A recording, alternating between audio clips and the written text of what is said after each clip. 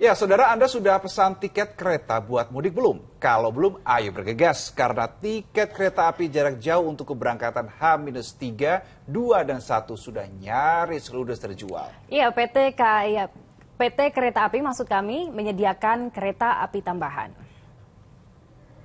Dari total 3,2 juta kursi kereta mudik yang tersedia, sekitar 40 persennya sudah laku terjual. Tiket yang lebih dulu habis adalah tiket kereta kelas ekonomi dengan tarif bersubsidi. Sementara itu, PT KAI juga telah membuka penjualan tiket kereta api tambahan sebanyak 48 perjalanan yang dibagi menjadi dua gelombang yang mulai dijual pada tanggal 6 dan 8 Maret lalu minus 4 ya sampai dengan hari H. Ini yang masih menjadi favorit uh, untuk tujuan kereta-kereta api jarak jauh. Dan biasanya memang yang habis duluan adalah kereta-kereta ekonomi yang bersubsidi ya atau PSO baik yang ke arah Surabaya kemudian Solo uh, kemudian relasi seperti Bandung dan uh, sampai dengan Surabaya. Yang pasti H-3 H-2 H-1 ini sudah mulai habis. Dan kita menyiapkan ketambahan uh, Sementara itu di masa libur panjang akhir pekan ini, tiket kereta api jarak jauh juga laris terjual.